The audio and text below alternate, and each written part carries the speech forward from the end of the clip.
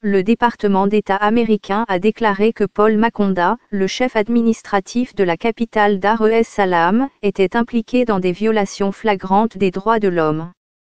Le département d'État a refusé de préciser l'action spécifique de Makonda qui a entraîné cette décision, mais a exprimé sa profonde inquiétude quant à la détérioration du respect des droits de l'homme et de l'état de droit en Tanzanie.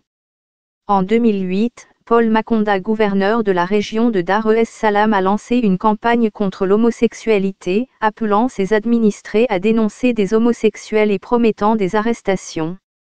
Makonda est impliqué dans l'oppression de l'opposition politique, la répression de la liberté d'expression et d'association, et le ciblage d'individus marginalisés, précise une déclaration du département d'État américain.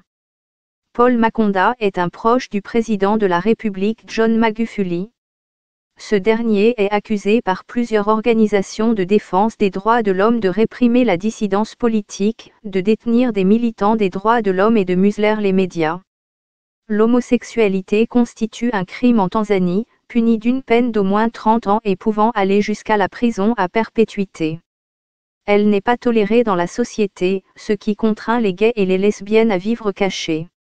Vendredi, les États-Unis ont ajouté la Tanzanie à une liste élargie de pays dont les citoyens ne peuvent obtenir certains types de visas d'immigration.